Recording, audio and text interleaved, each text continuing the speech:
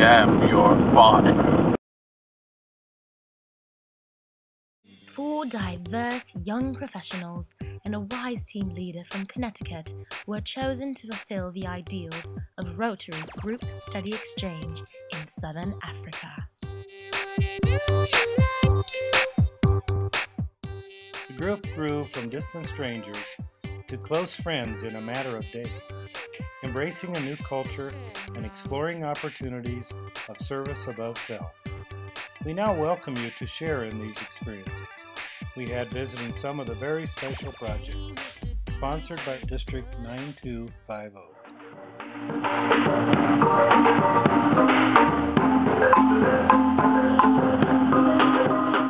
There were no schools for black children in Groot Maritzburg, so there were no education. So we started to send children, but there was really no foundation to work on. So our food was gone to us by getting the care of Rustenburg, Chris and Veronica and us and those people involved in this project. Because since they became involved in our new project, you know, things just happened.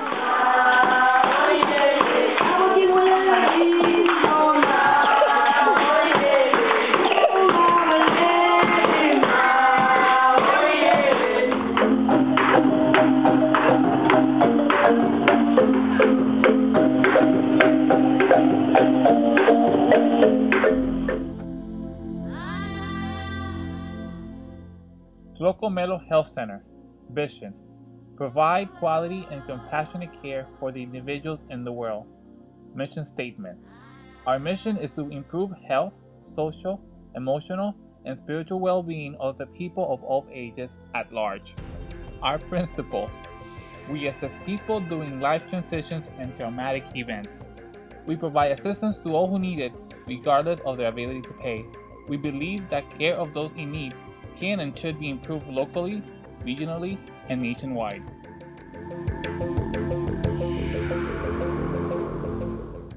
The children here, often orphans, must sleep on the floor. There is no money for new beds. This is where the children stay, and they're waiting for money to build kitchen and dining. Amidst the depression and devastation at Local Melo, spirits are still high. It was uplifting to see people smiling, singing, and praising.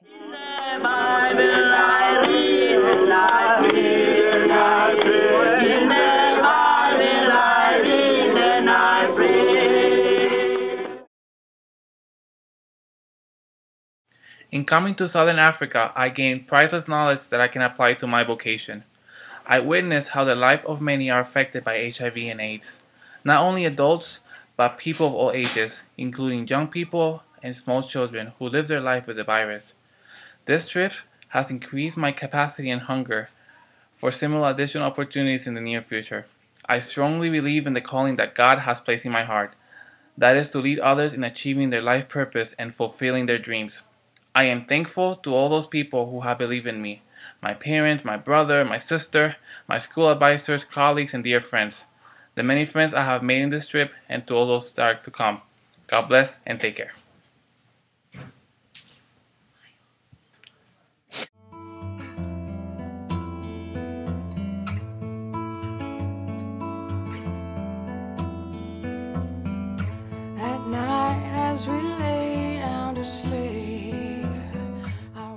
Grace Help Center provides refuge for women and children who are victims of abuse. At Grace, they can find a safe haven, food, love, faith, and empowerment. sexually abused children. That's one section.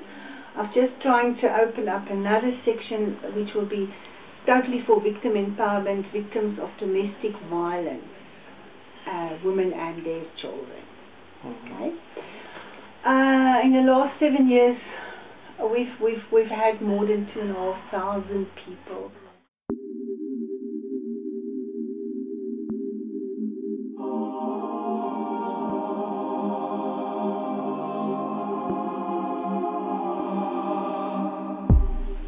The victims can usually stay, the mummies and their children can stay up to six months where we totally care for them, look after them, nourish them, cherish them, body, soul and spirit. The children are placed here by, by the court. They are usually victims of abandonment, abuse, um, neglect.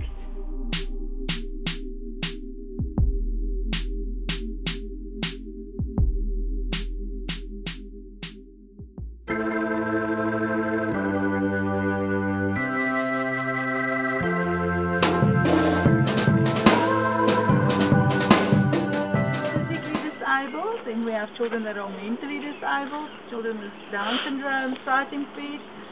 Um, we actually have uh, 22 children now.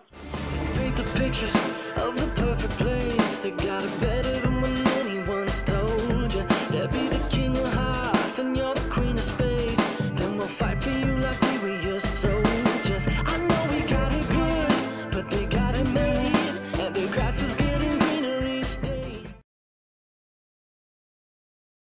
Travel is more than the scene of sights. It helps us to see and to learn to respect differences in culture while obtaining a deeper understanding of our role as global citizens. My time in South Africa can be summarized in one word amazing. Amazingly beautiful in terms of its people, countryside, culture, and of course its food. I had the opportunity to stay with awesome individuals who not only opened their doors and provided beds for us to sleep on, but also allowed us to infiltrate their lives, getting to know a little bit more about who they are and also their families. I had the opportunity to explore many firsts, mines, spotting various animals in the wild, especially the big five.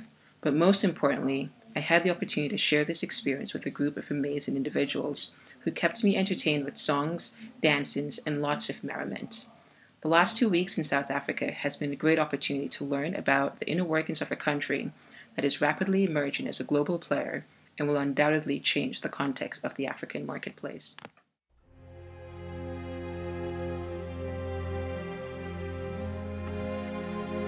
This center is responsible for providing rehabilitation services, resettlement services, and residential services to children with visual impairment. The Center's residential services provide children with accommodation, food, healthcare, and a positive upbringing. Rehabilitation includes training and activities for daily living, independent living, mobility, and orientation. Resettlement services prepare the children to fit into the community, living a life that is tantamount to the life being lived by a child without visual loss. The center also provides opportunities for recreation and personal development. The children are encouraged to explore their talents beyond academics. How can life be what you want it to be? You're frozen when your heart's not open. So Stepping Stones was started in 2005. It was registered in the United States. And then from there, in 2006, it was established in Botswana. Initially, there were 10 kids under a tree. From 10 kids under a tree, it moved to 30 kids in a classroom.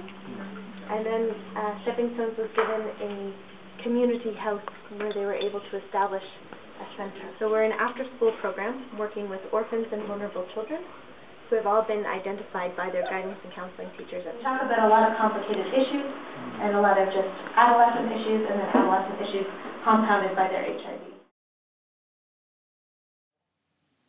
This experience has both inspired and challenged me in so many ways. My whole life I've lived within a 10 mile radius. This journey has removed me from my comfort zone, allowing me to consider new possibilities for myself and for my future.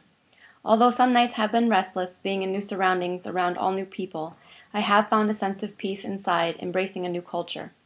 I found strength within myself to conquer all the things I want to do in life. I will always cherish the people I've met and the memories I've created here. I want to thank all of those who have made this trip so special for me and for the opportunity. I am also thankful for the gratitude of my host families who welcomed us with open hearts and open minds. I hope to see you all again soon. The Shadisa Institute, promoting care for the caregiver, is a center where healthcare providers can address their physical, emotional, and spiritual concerns. The Institute offers innovative strategies in medicine, psychological treatment and counseling, HIV/AIDS prevention, testing and treatment, and creative arts therapy. Situation was quite grim, and there were just literally thousands of people who were in need of treatment and there was no treatment to be had. So when we did actually finally launch the program, we worked you know, I would say for a good, maybe a couple of years, nonstop, just trying to get people onto the medications. And when we finally kind of put our had a had a moment to come up for air, um, we realized that we were all really burned out. And Diana, even before that, had been working with another one of our board members, Howard Moffett, to, to talk about how to address healthcare worker burnout.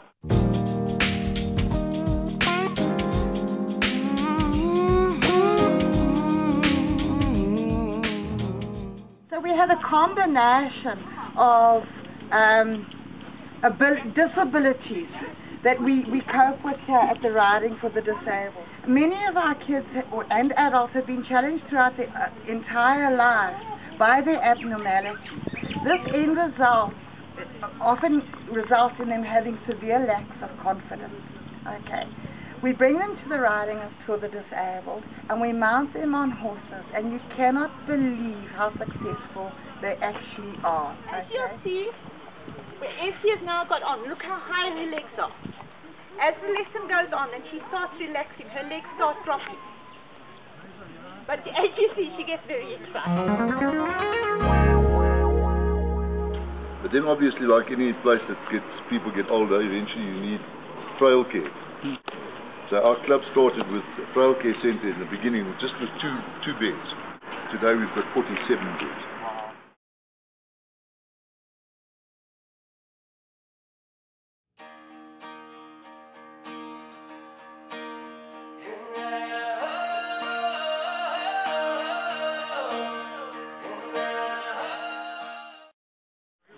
Headmaster Lucas.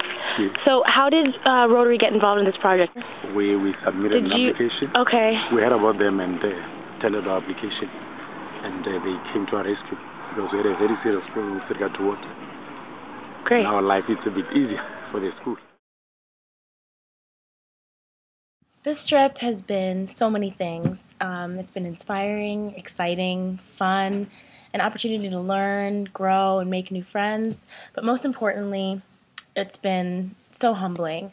Uh, visiting the various Rotary projects and seeing what so many Africans lack has reminded me to be grateful for what I have.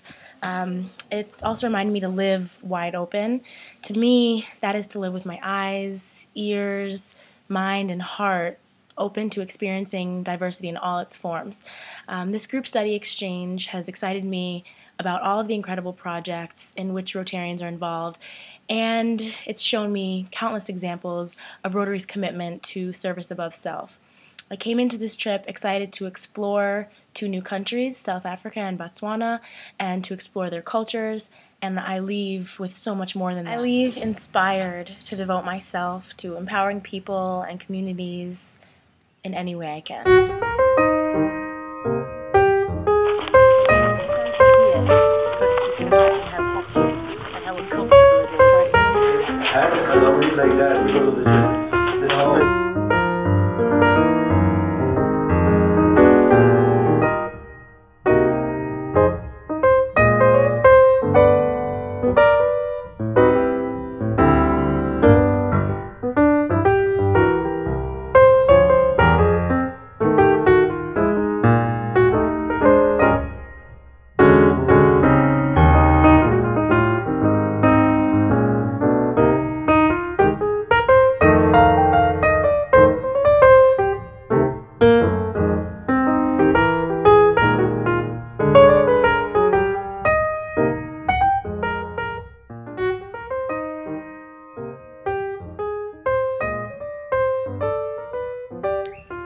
Rotary District 9250 is a vast area compared to our district in Connecticut. The land we have seen is covered in many areas with bushveld. There are scenic mountains and valleys, abundant wildlife, pleasant climate, and natural resources. All this is interspersed with villages and cities full of peoples seeking hope for their future.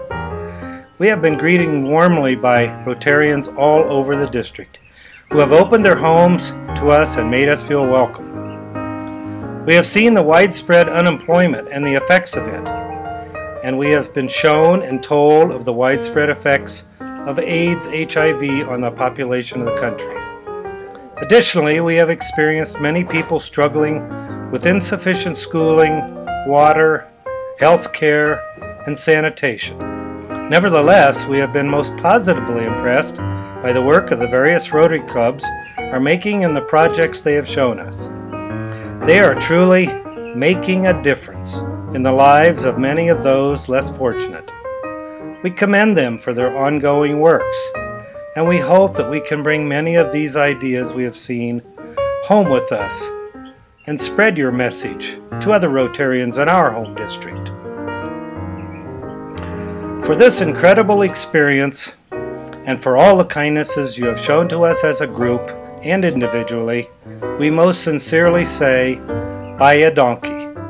And we wish you all the best as you continue to bring new hopes for a better life to the many you touch through your work as Rotarians.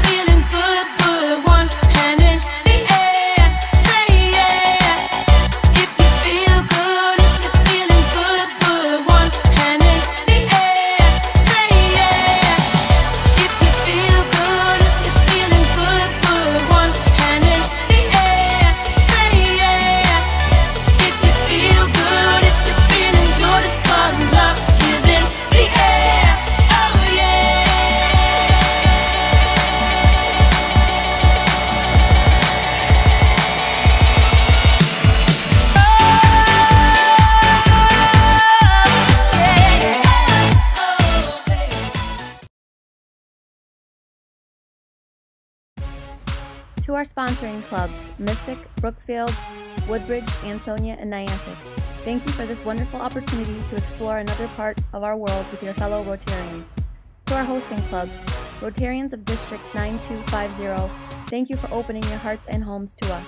You have given us incredible experiences which will remain as unforgettable memories. To all Rotarians, it is because of your generosity and genuine interest in worldwide friendship, diplomacy, and commitment to service that we are able to participate in this phenomenal program.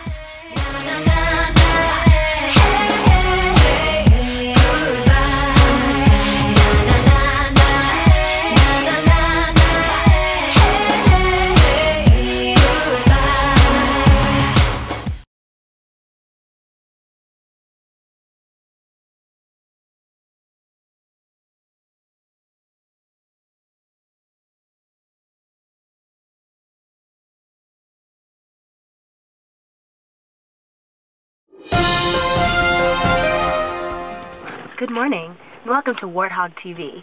We're currently on a game drive, and we have not yet seen any game, but it is quite a game. Looking for them. Nicole. Hi. Glenn. Jody, say hello. Hi, everyone. Glenn, Yes. what should we be looking out for? Um, preferably game. What might we expect to see? You, uh, you should see elephants. Uh, you see uh, impala. Uh, Like a Chevy Impala? Zebra. what? a Chevy impala. a rare sighting of a Puerto Rican chiquitito. It's not every day that you see one of those. My number is 860. Um, hold on. 860-857-0649. I just forgot because I got a couple numbers. My my African number is 555 Caliente Africano. Call. Be waiting for your call. Free after 12. Digging through your minds, digging through your minds, see what I can find. That's a big video.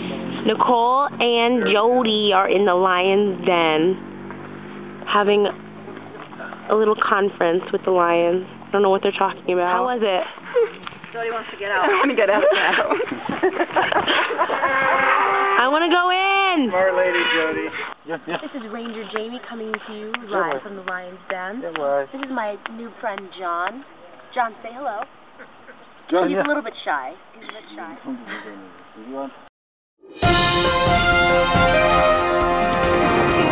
One. Hi, my name is Frank Silva, and I am a GSEP member. I'm from Connecticut. Hi. Well, I am going to where are we going? Where are we going? Where are we going? We are to. To all my family across the world, I wish them